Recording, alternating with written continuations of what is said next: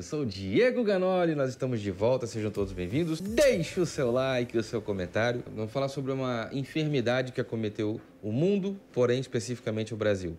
Os ismos. E aí nós temos o direitismo, o esquerdismo, o lulismo, o. São muitas definições dos ismos, as doenças que acometeram o Brasil. Foi divulgada uma matéria na data de hoje que um integrante do esquerdismo fazia aniversário e o do direitismo entrou e alvejou e etc.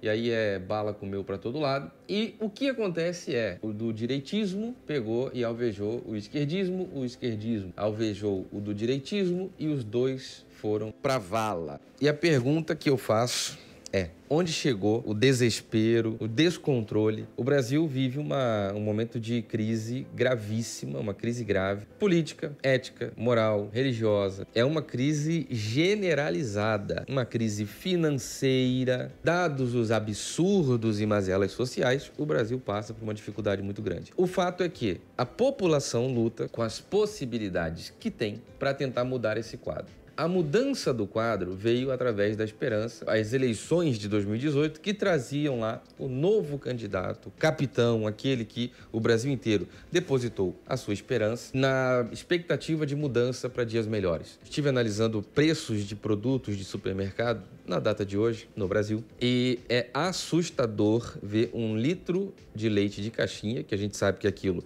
não NaOtil, aquilo não é leite de jeito nenhum a beira ali de R$ reais, bandeja de ovos chegando ali a 20 reais. É desesperador a situação da sociedade como toda, a sociedade a população da classe trabalhadora brasileira. É desesperador a situação da nossa gente. Por quê? O salário mínimo no Brasil, R$ 1.100, 1.200 reais. É isso daí. O aluguel, né, para você a renda necessária para você morar é um aluguel que já passou, extrapola aí um salário mínimo faz muito tempo. Logo, ou você divide casa com algum amigo, ou você se casa com alguém e divide as despesas para sobreviver. No meio do desespero, do descrédito religioso, do descrédito político, no meio do descrédito das mazelas sociais, não ter segurança é um problema gravíssimo. Você não pode comprar um telefone novo porque vai para a rua com ele, vai perder. Passa uma moto com dois caras, o desespero já bate. Passa uma bicicletinha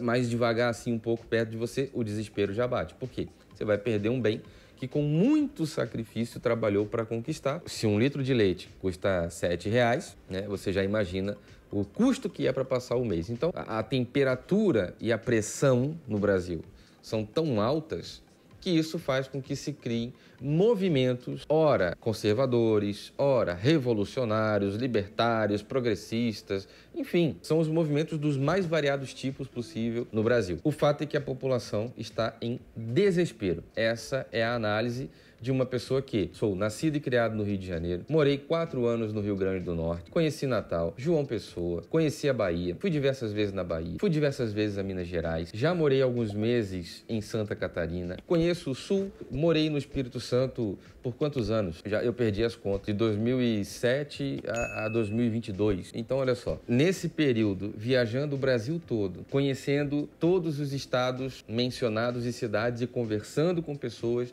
de diversas cidades e estados. A internet vem para trazer relatos sem você precisar se deslocar até lá, olhando para a realidade da Europa, olhando para a realidade dos Estados Unidos. O mundo inteiro está abalado por uma crise, uma crise absurda, uma crise financeira, uma crise de todas as formas. Porém, ainda se consegue debater e ainda não é por muito tempo. E o Brasil parece ser uma última barreira na, na contenção né, desses regimes totalitários, o Brasil parece uma última barreira na defesa dos valores como Deus, pátria, família, coisas que são é, clássicas e básicas para qualquer sociedade. O princípio estrutural de uma sociedade é a família. Você destrói a família, você acaba com a sociedade. Então, a doença está instalada na sociedade através de um plano que é totalmente intencional.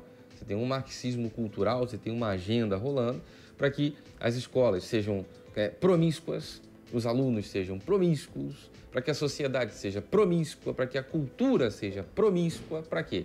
Para fragilizar, enfraquecer, destruir a imagem da família tradicional. Daí, nesse colapso de não ter saúde, não ter segurança, não ter educação de qualidade, não ter mais agora condições de, de poder de compra nenhum, uma moeda totalmente desvalorizada, uma situação inflacionária fora do controle, um desespero completo.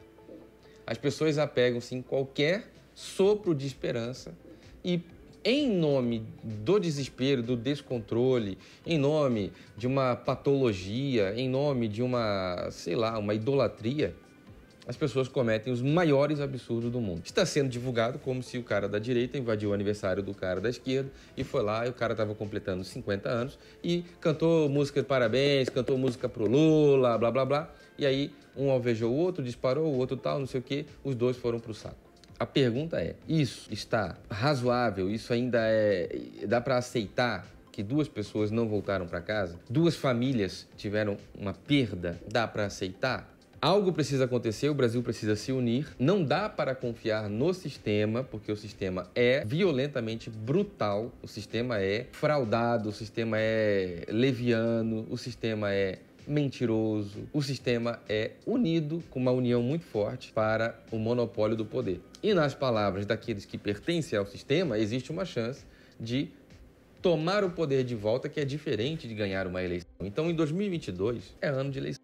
O litro de leite está R$ 7,00, R$ 8,00. O combustível está caro. Com um capitão do exército fazendo pelo povo planos de avanço, de progresso, infraestrutura para a produtividade do agronegócio, se não é a instalação e aplicação com recurso totalmente escasso e limitado. Na infraestrutura do Brasil, para o agronegócio funcionar, o Brasil já estava comendo capim, cachorro, alguma coisa nesse sentido. Do jeito que está, tá difícil, se piorar, é de dar pena, é de dar tristeza imaginar o que pode acontecer dentro da, do país tão maravilhoso, mundialmente amado, querido, as pessoas sabem tudo que o Brasil tem de bom, mas o mundo inteiro, o mundo inteiro tem uma tristeza quando olha para o Brasil, que é ver as mazelas que o Brasil passa por uma falta de gestão honesta. Qual é a sua opinião sobre tudo isso? Qual é a sua opinião sobre esses descontroles e esses absurdos que têm acontecido no Brasil. Tem acontecido no mundo, não tem síndrome de vira-lata em lugar nenhum mais. A gente já tem acesso à informação. A única coisa que resta é, neste ano de 2022, dar continuidade ao governo que aí está, porque é o que faz pelo progresso do país, pelo avanço de infraestrutura, para viabilizar o agronegócio, para que cada ano mais estejamos independentes e autônomos e cada vez mais dependendo menos de países estrangeiros, como fertilizantes que vêm da Rússia, enfim, são questões que amarram o Brasil a uma dependência. Caso a postura do presidente tivesse sido diferente, nós sabemos que o Brasil teria se afundado numa crise de fome. Não era racionar ou dificuldade, era escassez, era não ter o que comer. Chegaram não sei quantos navios carregados com não sei quantas toneladas de fertilizantes da Rússia para o Brasil depois da visita do presidente do Brasil lá ao presidente da Rússia. A política é esse jogo, essa arte da negociação. O Brasil passa por uma crise que só vai sair dela com essa arte da negociação. Precisamos entender onde está o inimigo, qual é o inimigo e como vencer o inimigo. E isso vai acontecer através do entendimento, através do conteúdo, da informação. Ano de eleição, é preciso manter o governo que aí está se outro governo estivesse e 2018 tivesse sido diferente, o Brasil ia estar comendo capim, ia estar comendo cachorro, ia estar em colapso financeiro total, ia decretar falência, ia ficar trágica a situação do Brasil. Muito obrigado, fiquem todos com Deus e um forte abraço.